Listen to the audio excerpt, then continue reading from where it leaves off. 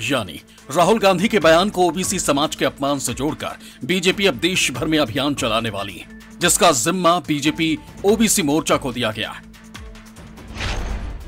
सूत्रों के मुताबिक बीजेपी का ओबीसी मोर्चा गाँव गाँव चलो घर घर चलो अभियान शुरू करने जा रहा है।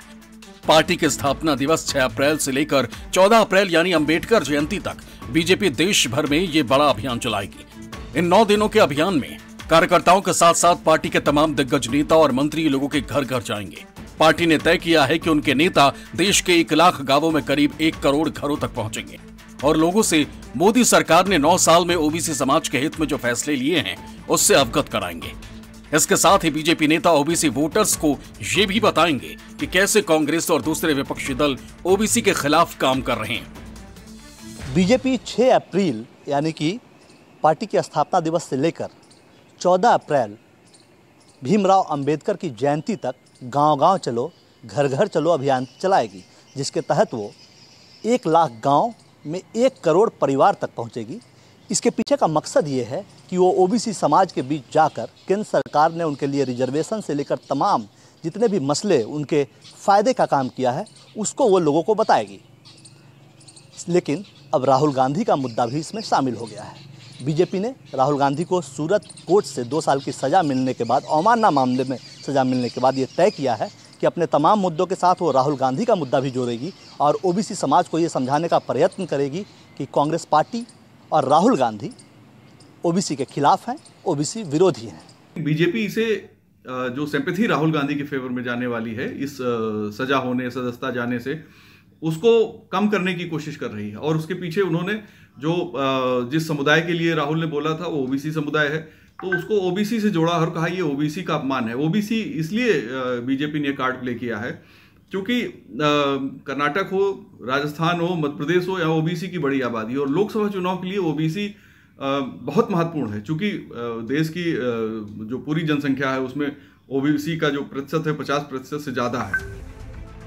साफ़ है। राहुल गांधी के बयान को आधार बनाकर बीजेपी ओबीसी तबके में अपनी पैठ और मज़बूत करने की कोशिश में है। लेकिन सवाल है, क्यों? आखिर ओबीसी वोटर्स पर बीजेपी का खास फोकस क्यों है? तो इसका जवाब है, देश में ओबीसी की संख्या। दरअसल लोकसभा की लगभग हर सीट पर 10 से 50 फ़ीसदी तक वोट ओबीसी तबके के हैं।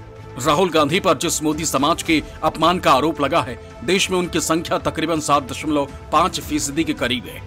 लोकसभा की करीब 160 सीटें ऐसी हैं, जहाँ बीजेपी या तो कमज़ोर है, या फिर वहाँ कभी चुनाव नहीं जीती है।